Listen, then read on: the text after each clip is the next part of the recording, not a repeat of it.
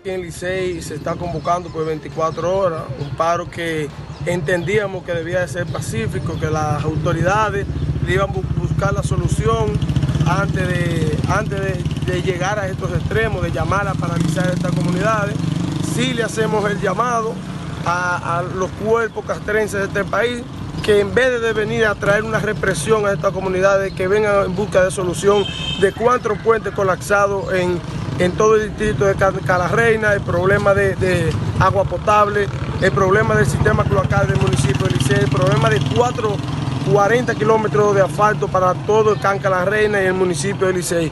No es justo, general, que usted no haya venido a traer a esta comunidad una represión policial tan fuerte. Aquí no hay delincuentes, aquí solamente hay gente que quiere trabajar, aquí gente que quiere ver el desarrollo de sus comunidades. Por eso le hacemos el llamado de que esta comunidad solamente quiere desarrollarse. Esta comunidad tráiganle solución en vez de traerle una militarización como lo están haciendo ahora, metiendo miedo en nuestra comunidad. En esta comunidad no hay terrorismo.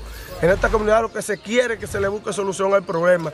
Desde aquí le hacemos el llamado al general, general Ten, de que esta comunidad quiere solamente solución, no esa represión que tienen en, estas comunidades. El apoyo de de la población, el apoyo de, comercio? Bueno, aquí la población ha acatado el llamado alrededor de más de un 95%. Están todos los comercios del municipio de Licey cerrados. Usted ve aquí la parte baja de Moca, está todo paralizado. Entonces, desde ahí es que el gobierno debe entender que aquí hay un descontento con ellos, de que ellos deben de venir a buscarle solución al problema, no a traerle represión como lo están haciendo ahora mismo. ¿Por qué tiempo el paro? El paro se está convocando por 24 horas, pero en vez de, si ellos no vienen a buscar una solución al problema, tendría razón de que se podía extender.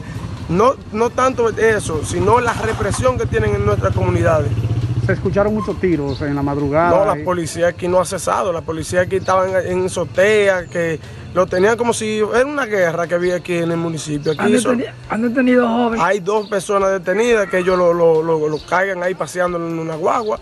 Nosotros deploramos eso, eran dos personas que iban para su trabajo, que fueron detenidas por ellos. Pues, pues no entendemos por qué la policía quiere venir a buscar represión en nuestra comunidad en vez de traer solución. Muchas gracias, hermano.